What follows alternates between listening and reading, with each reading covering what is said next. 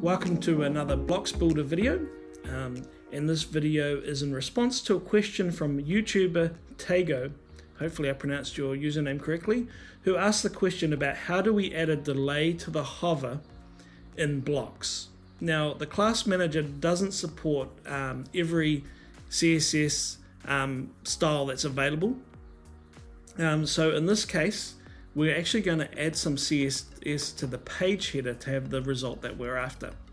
If we have a quick preview of this sample website and we come down and we look at the button element, we find that you know the transition from from its normal state to its hover state is instantaneous or near instantaneous when we put the cursor on it and the same down here for our linked element. So what we're going to do is we're going to apply some styling to our A tags so that we can have a bit more of a fancy effect here, make it feel more interactive and not so jarring. So back to our canvas. If you want these effects to apply against all your pages over your whole project, remember just use your project header. In this case, we're using our page header. So I'm just going to open up my page settings and my page header. Oh my. Now, I've written in here some different styles that we're going to look through.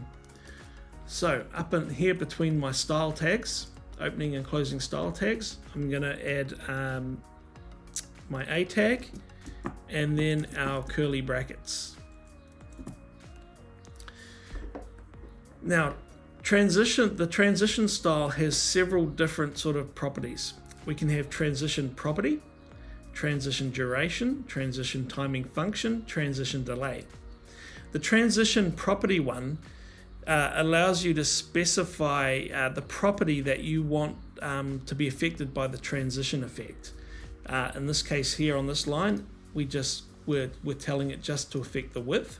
We can set height. We can also set all to affect all style properties.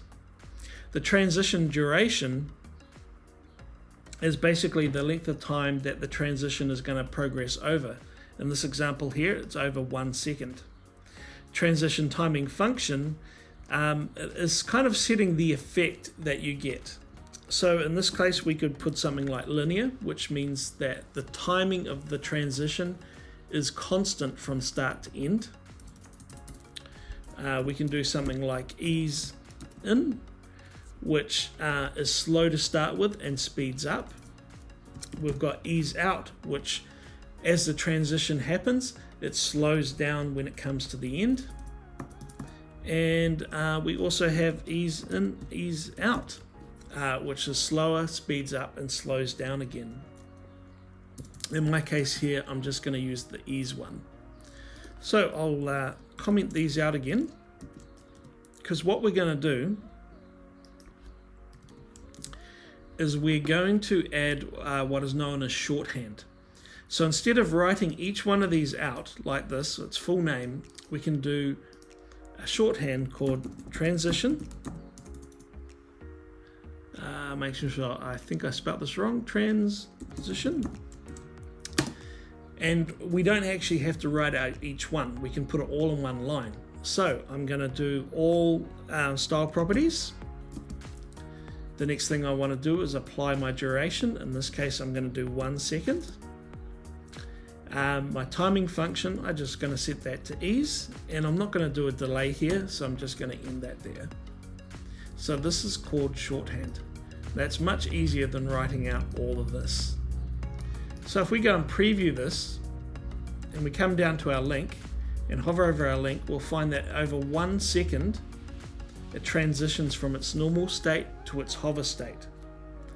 But if we come up to our button element we'll find that that's not been affected at all. Now that's really interesting because our button element is an A tag. If we come in and inspect this element by right clicking, we can see here our button is an A tag, but Bootstrap adds this class called BTN. BTN.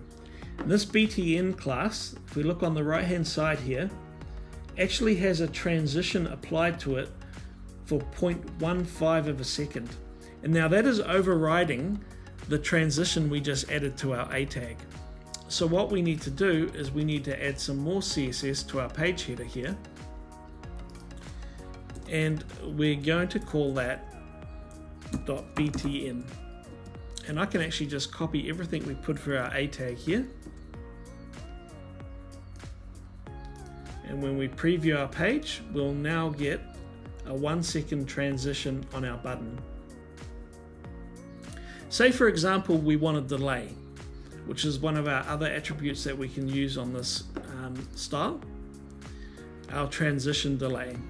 What we can do on our shorthand is at the end here, say uh, on our button, we wanted to add a delay of three seconds before the transition started. Preview that. One, two, three. Now we have our transition. The only problem with setting it like that is when we remove our cursor, we're going to have a three second delay before it reverts back to its normal state. The way we can fix that is by adding some CSS for our hover state.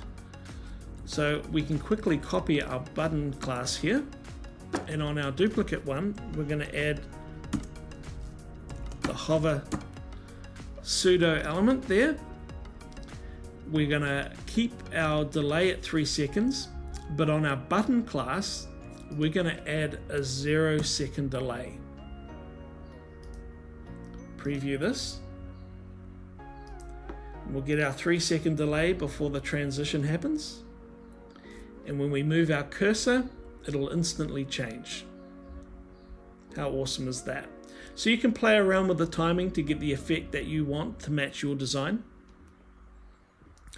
Um, just as a, a, an added bonus here, and I want to do a video that's more in depth on transition and transformation, which is another style we can use. Um, what I'm going to do is I'm going to give you a quick example of how transition and transform can work really well together. So what we're going to do is as we hover over this carousel, we're going to have our images enlarge or create like a zoom effect. And it's really easy for us to do. So with our carousel selected and on the left hand panel we're going to open expand down until we can see our carousel items. And now each one of these contains our carousel slide. So we're going to expand that and select our image. And I'm going to add a new class to it called zoom you can call it whatever you like if we go back to our page header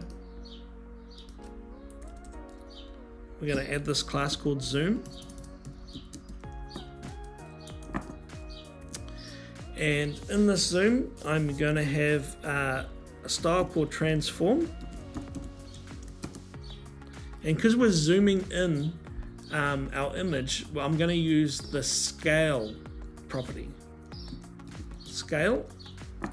And we want it to default to a one-to-one -one ratio.